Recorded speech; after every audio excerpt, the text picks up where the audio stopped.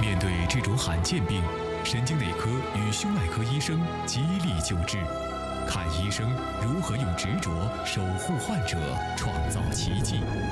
健康之路，敬请关注。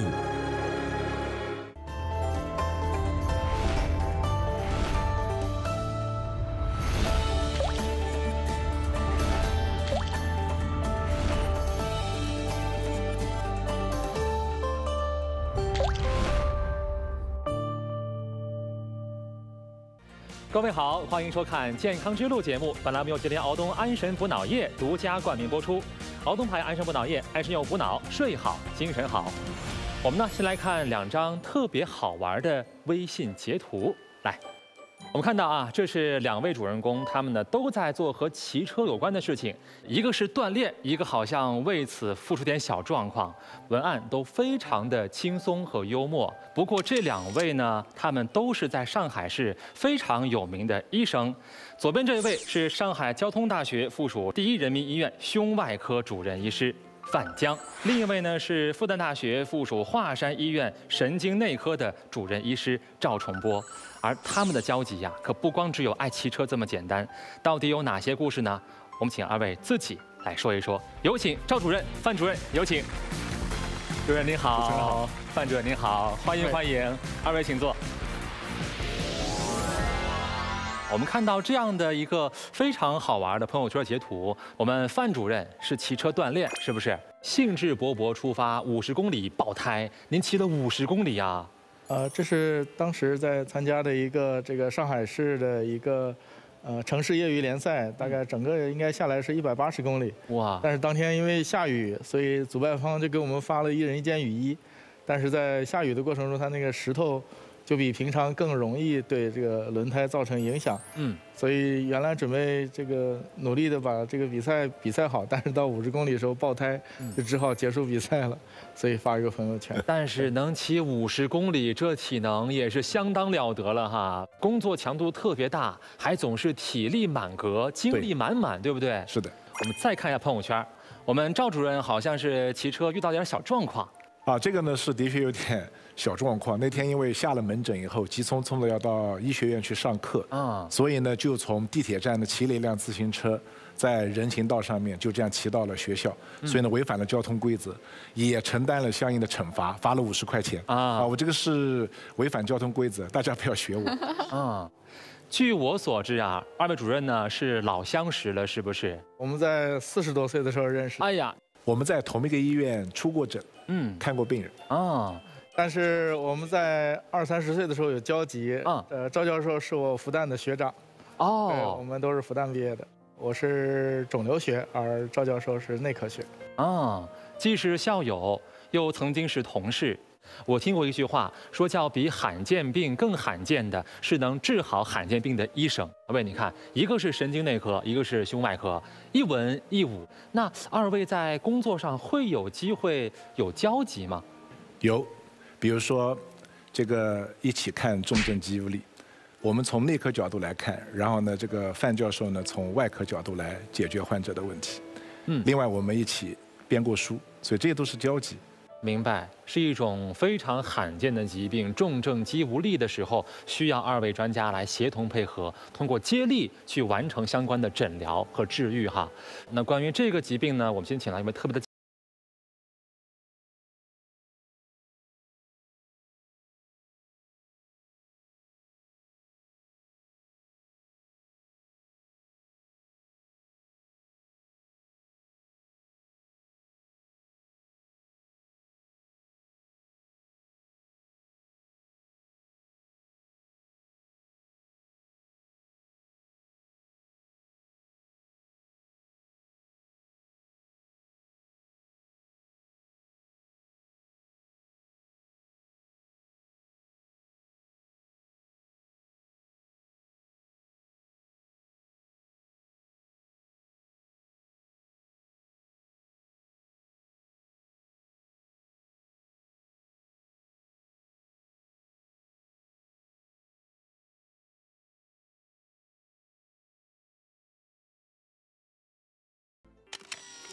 好，这背后到底有哪些故事呢？我们请出声音的主人铁军老师和他的爱人玉大姐，掌声欢迎。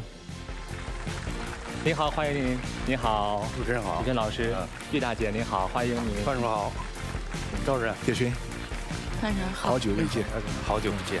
治完病回到老家以后，就一直没有见。是啊，四年多，马上就五年了。对啊，嗯，来，四位请坐，四位请坐。呃，既是医患的再次相见，又是老友的相聚，是不是？您就是二位主任的病人，是吗？对对对，嗯，这首诗也是有感而发。二零一八年，我四十八岁，人生最好的时候，没想到突然发生了变故。后来也是因病结缘，认识了两位专家。是，我们能够听出来啊，这个诗您读得非常的好。一种深深的对于命运的那种意外的对抗、不屈的斗志，以及被这个病所折磨的那种发自内心的痛苦哈。想问一下铁军老师，当时是什么情况就会突然得了重症肌无力呢？最早是年初，我发现我这个右眼睑下垂，然后我就在当地和省城的医院去就诊，没想到。被确诊为重症肌无力眼畸形。嗯，想问一下赵主任了，我们讲到这个右眼睑下垂，就是好像眼睛这边没什么力气，它是和重症肌无力相关的吗？怎么理解呢？这个眼部肌肉的损害在重症肌无力患者当中最常见，大概有百分之九十以上的患者他都会有眼部肌肉无力的这样表现。那么主要表现为眼睑下垂，那么就。你看上去了以后，这个患者呢，他就是这个眼睛啊，就明显变小掉了。嗯。另外呢，看东西会有双影，就是看一个东西的时候，它会有两个影子出来。那么眼部肌肉的这个受累的话，在重症肌瘤患者当中，啊，它有的时候是一个早期的一个症状。那么这个也是提醒啊，这个广大的观众，那么在平常的时候呢，可以关注这方面的啊一个现象。是，这是一个非常重要的一个迹象的警报，对不对？对。如果我任由他不管的话，慢慢会怎样发展、怎样恶化呢？这个呃，按照不完全的研究呢，如果说不管的话，可能有百分之七十的这个眼外肌受累的患者，他后面会变成全身型的，就是会出现呃讲话不清楚、吞咽困难，然后呢手脚没有力量、脖子抬不起来，甚至呼吸困难等等等等。所以说，及时发现重症肌无力的早期表现是非常重要的哈。对。我感觉挺吓人的，啊，就开始是眼皮可能抬不开，到后边就变成了我的身体不受我自己控制，所以我现在特别想知道有没有什么简单的易行的自测的方法，可以帮助我们在家里就能够早期的判断我有没有这个重症肌无力的风险。对，太好了，自测方法有没有，范主任？最简单的自测的方法就是你用力的持续的闭眼一段时间之后，嗯。然后再缓慢的睁开，再次闭上眼睛的时候，他如果是在这种情况下，你的眼睛闭不全，有一条缝，那像这种就有可能是这个重症肌无力眼畸形最初期的一些表现。当然呢，这些症状呢，有可能就是您到下午的时候会加重，早晨的时候经过一夜的休息，呃，比较轻。嗯，像这个呢，就更容易验证这一点。嗯。我补充一种，就是说可以让这个患者的话呢，先平视，嗯，平视了以后呢，然后呢往上看四十五度角，然后呢让他坚持看，可能在几秒钟、十几秒钟或者一分钟以后呢，他的受到累积的这层眼皮呢，慢慢它会落下来，就像这个戏台上面的这个幕一样的，我们叫落幕现象，是，它就慢慢就掉下来了。那么这个来讲的话呢，它也是一种自测的方法。明白了，所以说呢，这些种种的表现，如果您都具备的话，要高度警惕去检查一下比较好啊。而我知道这些感受都是我们铁拳老师当时自己亲身经历过的，是不是？那个滋味是不是挺糟糕的？非常难受。嗯嗯，眼睛基本上看不见，看什么都是重影，然后没有力气，好像生活失去了自己的控制。对，就是我连眼皮都无法控制的话，我怎么样掌控人生呢？有种失落感吗？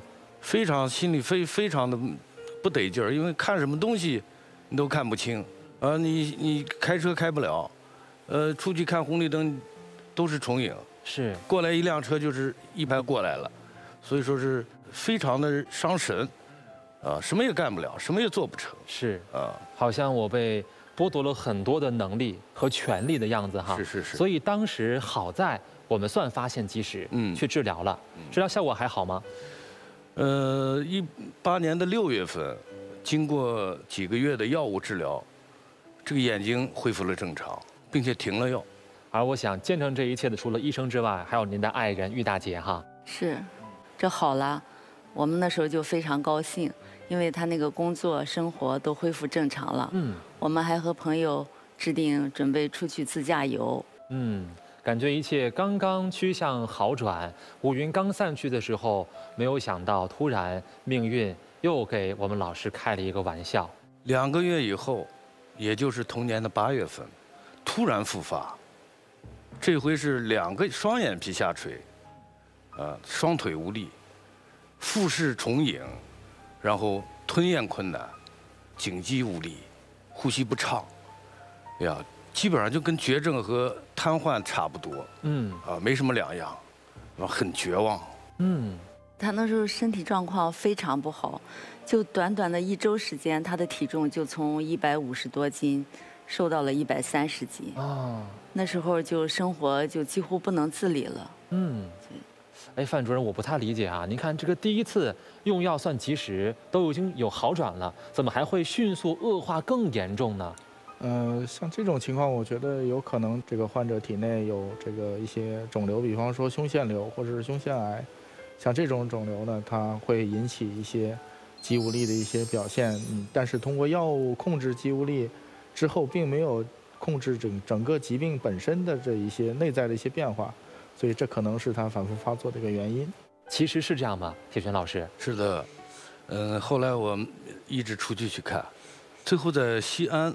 查出来了，有，而且瘤子特别大，有胸腺瘤啊，基本上三公分，嗯，有三公分将近，是胸腺瘤。不能想象，我觉得肌无力，可能正常人的反应都觉得它是神经系统的问题嘛，就是你的肌肉有问题，是不是哪个神经对出现了问题，是吧？不会想到说是叫胸腺瘤，那那这个瘤是。它一直已经隐藏在我们身体里，由它引发出来了肌无力吗？还是说，因为我们长时间肌无力导致长了这个胸腺瘤？这个孰先孰后呢？这个呢，胸腺瘤应该是原因，然后呢，重症肌无力是结果。因为重症肌无力患者他胸腺异常的比例很高，百分之八十都有胸腺异常，其中百分之十五到二十呢是胸腺瘤。嗯，所以呢，它两者之间是有一定的因果关系。所以各位，一个关键词再次被提及了，就是胸腺瘤。胸腺，但是我们了解胸腺吗？问问二位嘉宾，你们知道胸腺在哪儿吗？一下子有点懵。如果是胸口的话，应该是在正中间的这个位置啊啊，就是在这个地方长一个瘤啊，这叫胸腺。对，心窝窝。心窝窝。嗯。好，这是二位的猜测，对不对？嗯。那到底胸腺在哪里呢？我们来看一个图片，这是一个胸腔的一个矢状位的一个剖面图。嗯。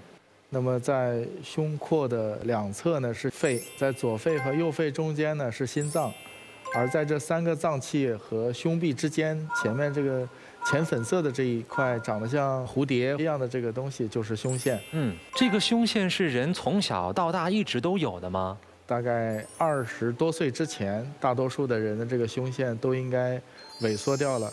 它在这个年纪之前呢，是完成的是人体这个很多免疫细胞成熟的一个场所。嗯。当人体进入成年之后呢，一些免疫功能就被外周的骨髓或者其他的一些淋巴组织来承担。嗯。胸腺本身就不再拥有一些功能，但是有一些患者呢，在他没有退化的时候呢，称之为胸腺的增生。有一些患者呢，不仅没有退化，还在这个基础上产生了肿瘤，这就是胸腺瘤。嗯，如果它产生的这个肿瘤侵袭性足够高，那有可能就是胸腺癌。就是胸腺的慢慢退化是一个正常的、健康的一个表现，但如果相反，胸腺没有退化，反而增生了，就可能导致胸腺瘤的出现。但是它怎么会引起重症肌无力的种种表现呢？是这样的，神经和肌肉之间本身是有一个信号传递的分子，当人体胸腺本身这个环境受损的时候。产生了一部分细胞进入呃外周血之后，诱导外周血里边的这个 B 细胞产生了一些这个抗体。这个抗体呢不是很健康，但是呢它能模拟这个神经肌肉之间的这个信号。嗯。当你这个错误的信号存在在那里的时候，虽然你的神经系统发出的指令是正常的，但是却没有人执行这个指令。嗯。肌肉接受了一些错误的其他的一些信号。嗯。就相当于你给老师打电话。说家里孩子不听话，你让他从学校如何如何，但是接电话是孩子，他这个老师并没有接受到这个呃指令，这就是肌无力的最根本的原因。嗯，第一次明白，原来你看一个胸腺的肿瘤会和肌无力，会和信号的传输有这么强的关系哈。所以说发现是胸腺的肿瘤在作祟，这个点非常的重要。那老师发现之后，咱们当时的治疗。还顺利吗？确诊以后，医生告诉我，嗯，如果做手术会有三种情况发生。三种情况，第一种就是下不了手术台，人就没了。嗯。第二种是下了手术台植物人。第三种，手术成功，但是有很严重的后遗症。三个结果都不好。嗯。我当时就很犹豫，没做。是。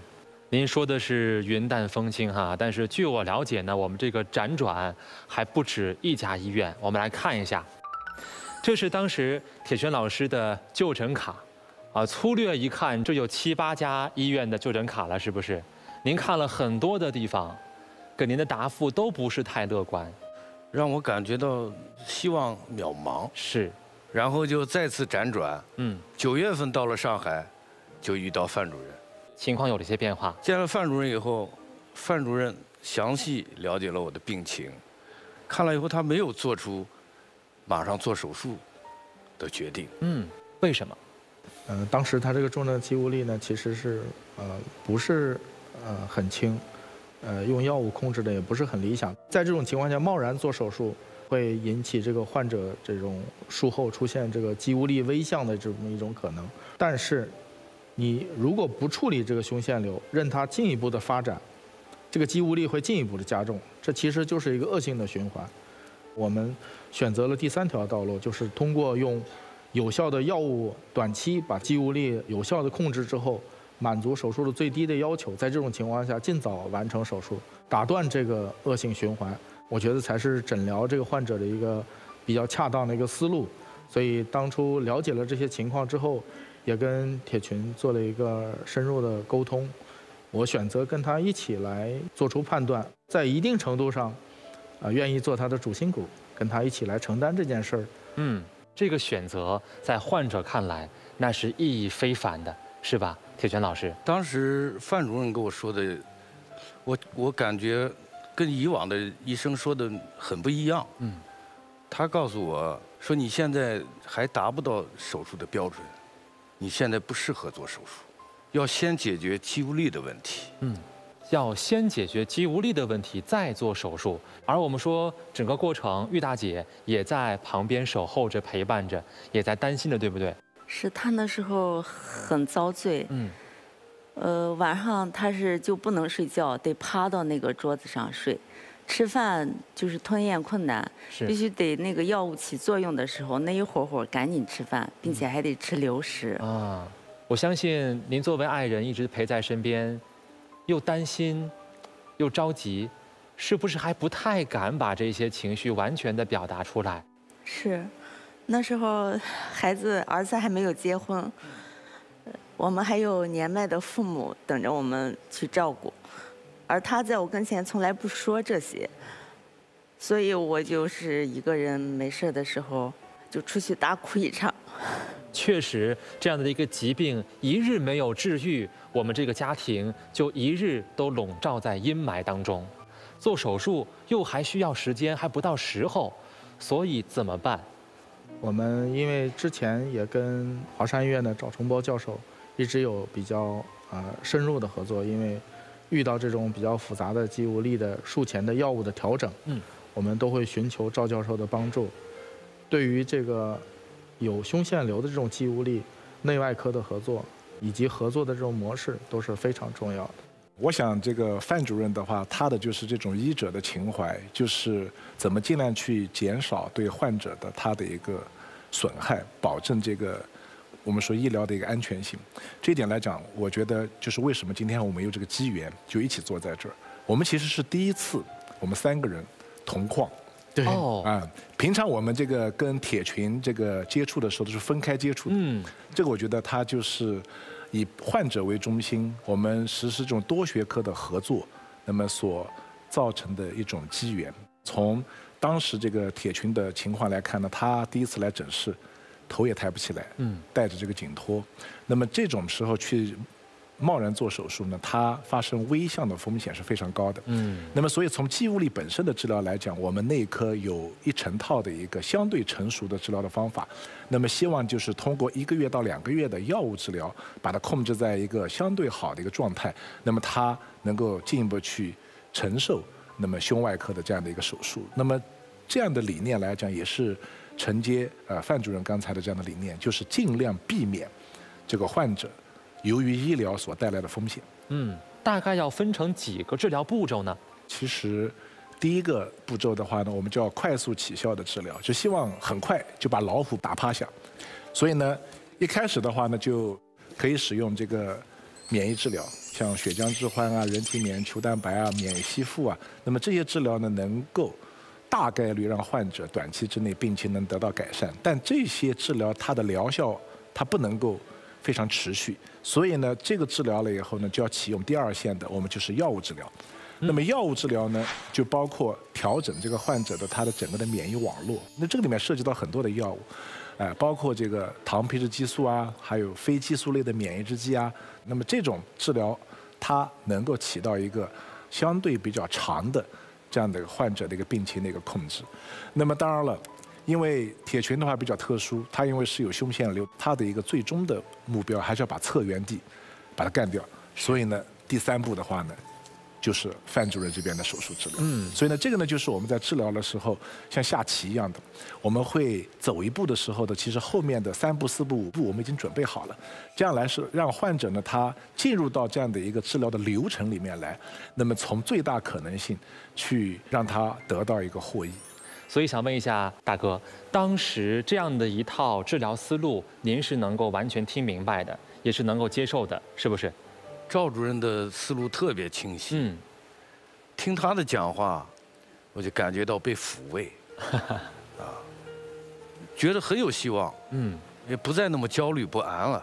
就可能同样的一句话。类似的观点，医生有不同的表达，说出来的话，患者的接收效果和他的反应是完全不同的。对，这个呢，就是作为医生，我觉得很重要的一个素养是同理心，就是我们要站在患者的角度来思考一些问题，来体会到他的一些感受。所以呢，我们在和患者沟通的时候，不会去用一些。这种决然的、生硬的这样的一种语言，去突然的去增加患者他的一个担心和焦虑。比如说，有的医生会和铁群说：“你这个毛病看不好的，得一辈子吃药。”那么这种是一种表述的方法。那么另外一种表述方法，如果是我的话，我会说：“铁群，你这个病呢是可治可控的，目前有非常多的治疗手段能够帮助你改善病情。”那么，当病情改善以后，我们逐渐的去减少这个药物的剂量，用一个最小的剂量来维持你正常的生活和工作的状态。那其实这两种表述，你说它的内核和实质有没有特别大的差别？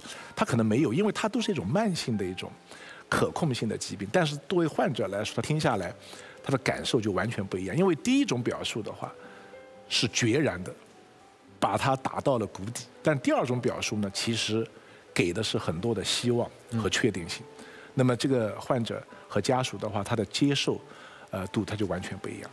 所以我想，一个名医的成长和成型，不光是医术不断的精湛，而且在心里面也不断的向患者去靠近，去理解人间百味，能够给出相应的最合适的那样的表达，不是在。没有原则的安慰患者，而只是在那个时刻给他一些情绪的抚慰。对，但往往这些情绪的改变会影响我们免疫的调节功能吗？会的。呃，举一个例子啊，以前呢有一个患者，他呢是周一下午来看我的门诊，他不知道我提前停诊了，那么就扑了个空。当场这个患者，他的肌无力就明显加重，哦，就直接去了急诊，上了无创呼吸机。第二天收到病房里面，我去看他的时候，他就说：“赵医生，昨天我来找你，你不在了，我马上这个肌无力就不行了。但是我在病房里面和他交流了十分钟以后，当天下午，这个患者他的无创呼吸机他就拿掉了。嗯，当然了，这个里面的话呢，他可能原因很复杂，它可能有真的，当然也有这个情绪方面的在里面。但不管怎么说，对于患者，他所感受的是一个不适感的一个总量。嗯，它的总量它是不适的，不舒服的。那么其实现代的基础研究已经证明了，人的情绪和大脑的活动是可以去影响人体的免疫 B 细胞的。那么这个如果说很焦虑啊，这个很紧张，那么这个坏的 B 细胞的功能就会加强，那么自身免疫病它可能就会加重。是。所以很多时候，可能主治医生他的一两句话语，就会给患者和他家庭带去无穷无尽的力量。想问一下玉大姐，是不是当时二位主任给出了一个他们认为科学的、有方法的一个诊疗方案的时候，您作为患者家属听在心里，也觉得好像有了希望，踏实了很多呢？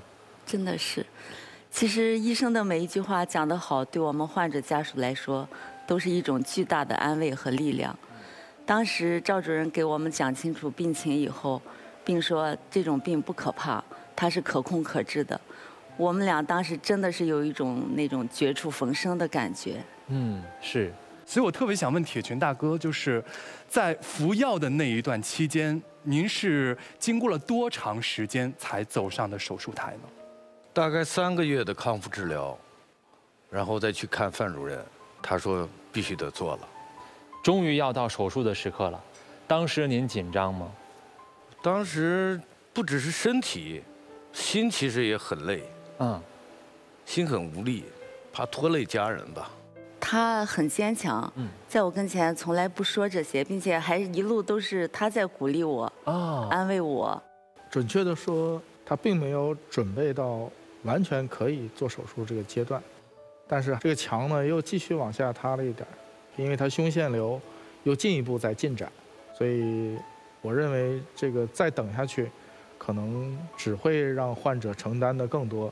所以，我们经过一段时间的评估之后，选择在这种情况下做手术。嗯，所以说从最开始一八年发现眼睑无力，到辗转多个医院，确定是胸腺瘤，再去调理，我们终于走到了这一步。来，我们看一看。这就是铁群大哥在手术前的一张照片。铁群大哥，还记得那一天是哪年哪月哪日吗？二零一八年十二月二十四日的手术。嗯，范主任给做的微创。这不是一个需要完全我们叫开胸骨的那个特别大伤口的手术是吗？范主任？事实上，铁群老师的这个肿块呢，其实也不是很小，同时呢，跟周围的组织的关系其实还是比较密切的。嗯。如果在这种情况下用一个开胸的手术，你对于它这个本身就不稳定的这个重症肌无力来说，这是一个嗯非常负面的一个影响，你甚至会影响到今后疾病的一个走向。嗯，所以我们用的是这个微创的一种方法，就是剑突下双拉钩，把这个胸骨整个向上抬高大概十公分左右。这样呢，我们就从剑突下进去之后呢，这种情况下做手术，一个是可以。减低这个整个手术的一个风险，因为你增加了各种的这个可视的这种范围，同时呢，也使你这个整个手术操作的空间更多。当你在手术中有更多的选择的时候，就意味着更加安全，不仅仅是美观这个意义。我觉得这种手术特别适合于啊铁群这种情况，而事实也证明了这一点。时至今日，呃，我觉得像如此有才华的一个人，不应该被疾病。这样的折磨，嗯，我今天才真的明白，我们讲微创手术啊，它只是创口面积比较小，它绝不代表手术难度低。刚才谈到这个细节的时候，看到我们玉大姐哈哈，这个表情有些动容。原来当时丈夫这么危险，是，嗯，她那天还是个周一的早上，第一台手术，然后我们大早就给她送进手术室，以后我们就在门口等。当时那时候就是大脑是一片空白，心中啥都不敢想，也不敢想好的，也不敢想坏的，然后就是一直在那儿祈祷，一直到中午一点多，终于传来了消息，说是手术很成功。嗯，那时候我们全家都非常高兴。当天没有见到他，他直接就从手术室转到了 ICU 病房，在 ICU 病房经过四十八小时观察以后，转入了普通病房。嗯，这样说很成功的那一刻，一家人如释重负。是。都松了一口气，可以说是都大家都，我们当时有我儿子，还有我家大哥，我们三个人高兴的抱在了一起，都非常高兴。嗯，感觉好能未来又充满了希望，我们的一些计划，包括旅游，可以再次提上日程了。是。好，我们看看当时啊，我们的铁拳老师他的一段日记来。切除手术当天直接被进了 ICU 病房，四十八小时后确定成功并稳定后。二十六日转入病房观察，结果在二十九日出现了昏迷，人体内二氧化碳堆积，就几分钟时间人就完了。大哥，这是又遇到了危险的意思吗？大哥，这是又遇到了危险的意思吗？出了 ICU 病房的第三天夜里，一晚上我都在说话，我也不知道说的是什么。就是我也不知道我说的是啥，家属也听不懂我在说什么。一直到早上起来，他以为我睡着了。刚好早晨护士长来打针，他及时发现我没有反应，就立马组织人把我又送进了 ICU 病房抢救。当时那个时间就是很短，没有超过五分钟。如果超过五分钟，就抢救不过来了。现在想想。命真的是大呀！嗯，范主任，这是为什么？不是手术很成功吗？也出了 ICU 了，怎么会遇到这么凶险的情况呢？这就是术前为什么要准备那么长时间的一个原因。这就是所谓的术后的肌无力的微象，就是你做完手术之后，他那个体内残存的这个啊这种不利于重症肌无力的这个因子，呃，在这个由于这个手术的影响下，同时呢，就是因为在手术的过程中。它这个胸腺本身，你有可能会受到挤压呀这些的，它会再释放一批这个东西入血，嗯，会影响这个肌肉的这个收缩。那像这种情况下，因为它呼吸肌无力，力量不够，不能把二氧化碳有效的排出体外，那就使它这个二氧化碳逐渐的又蓄积到一定程度，会影响人的意识。啊，就是人就会进入这个一定的意识丧失。嗯，那像这种情况呢，我们又紧急转入到 ICU，进行呼吸机的一个支持的治疗。嗯，然后后面呢又采用这个药物治疗。后面呢我们又请教了这个赵教授，然后联合制定了这个后期的治疗方案。嗯，经过一段时间的处理呢，顺利的出院了。是，出了院以后，范主任让我按时间进行放化疗的预防。嗯。他还亲自给我联系了肿瘤科的医生来给我安排，是啊，就是把之后我们的整个的后续的治疗计划全都安排好了。对对对。不过谈到了放化疗治疗，有嘉宾会有一些疑问吗？嗯，我我其实刚才全程听得特别认真，然后就觉得胸口憋着一口气，就是好难受。特别是玉大姐每次说话的时候，我都忍不住想哭，因为。我跟玉大姐一样，我们都是包括铁拳老师，我跟我爱人也都是土生土长的西安人。我特别能知道嫁给一个西北汉子的那种感受，就是他们真的不善表达。所以刚才图画问了好几次，铁拳大哥当时进手术室为什么会有那么大的心理压力，他都没说出来。可能你给他纸笔，他就写下来了。其实就是他说他怕拖累家人，他其实在心疼玉大姐。玉大姐为什么会哭？她是在心疼老公。所以我觉得这种。彼此之间的心疼也是能够战胜这场病魔的一个最重要的力量。所以刚才说到再次转到 ICU 的时候，玉大姐又叹了口气，然后我就看铁石大哥这样深情的看了她一眼。所以我觉得，嗯，这种力量我们是能感受得到的。没错。所以我刚才特别希望听到这个手术做完了就。故事结束了，嗯，就是公公主和王子从此幸福的生活在了一起。嗯，我没有想过这个手术完了之后，为什么到这里还没有结束，还要进行放化疗呢？因为这个胸腺肿瘤它有很多种哦，它就像一排土豆，颜色从青变成土豆的颜色，其中一部分它是有这种侵袭性，虽然你不把它定义为癌，但它依然是有侵袭性。而铁群老师的这个肿瘤呢，准确的说就是侵犯了周围的组织，而且它这个类型呢是属于 B 三型。像这种，你不仅仅要把这个肿瘤切除掉，还需要用药物和放疗巩固你这个手术的治疗的成果。嗯，这就称之为辅助治疗。啊，所以这是一个对于这类的患者来说是一个标准的治疗。嗯，所以说真的，我们回顾这一路走来哈，真的是感觉命运的那种跌宕起伏，而这一切在一个西北汉子的口中，可能真的他不太会表达，但是。我们的铁群大哥，他文笔很好。我们看看他在一九年有写过这样的一段话，来，致范江一行医护人员的一封感谢信。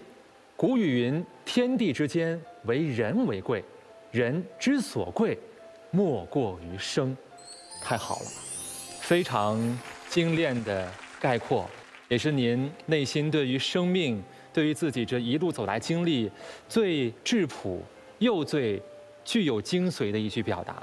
现在想的特别的幸运，生命呀，拜两位好医生所赐。确实，没有他们就没有今天的我。嗯，所以现在您的生活已经基本上完全恢复了正常。对，那个一八年被耽搁的旅游计划，后来补上补给我们媳妇儿没有？后来这张照片就是我们出去旅游拍的。这是去年国庆节的时候，我们到那个云南抚仙湖的留影哦，是。然后这他不是喜欢朗诵吗？嗯。病好后的这几年，他还经常录制自己的朗诵作品。嗯。能有今天，我们得之不易，我们俩很幸福。我们全家都非常感谢赵主任和范主任。是。我们经常说，生死都经过了，还怕啥？啥都不怕了。太好了。而共经我们这一次生死风雨的，还有两位德高望重的名医哈。其实我们讲这样的一个罕见病，重症肌无力，可能很多患者他目前一个是还没有自己能够完全的去确诊，再一个还深陷其中，找不到一个出路和解药。对于他们有没有什么寄语？范主任，相信科学，热爱生活。太好了，相信科学，热爱生活，希望就在前方。对，好，赵主任呢？呃，我想引用的呢是罗曼·罗兰的一句话，就是世界上只有一种英雄主义，就是在认清生活本质以后，依然热爱生活。我觉得，包括铁群，包括很多的重症肌无力患者，他们是真正的英雄。嗯，是的，你们是真正的英雄。每一个热爱生活的人都应该时刻奏响属于自己的那首英雄的赞歌。今天我们从一个。非常非常罕见的疾病出发，我们看到了这一路走来，患者家属和医者他们共同奋斗的努力，而我想，这是让一个一个生命得以延续的那个奇迹接力的灵魂所在，让我们的每一天都可以有机会继续行走在健康之路上。感谢各位，谢谢，谢谢。好，明天我们就依然不见不散了，再见。